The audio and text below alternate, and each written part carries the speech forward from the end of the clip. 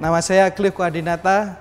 Saya dari mata kuliah Conducting Financial Aspect in Art, Sport, and Performance. Pada mata kuliah ini, mahasiswa akan mempelajari pengelolaan keuangan dalam manajemen event yang meliputi perencanaan budget, monitoring cash flow, serta evaluasi dan reporting pada event-event art dan sport.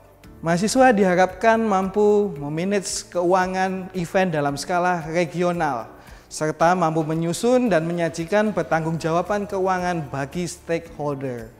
Bagi teman-teman yang berminat, silakan mendaftar. See you!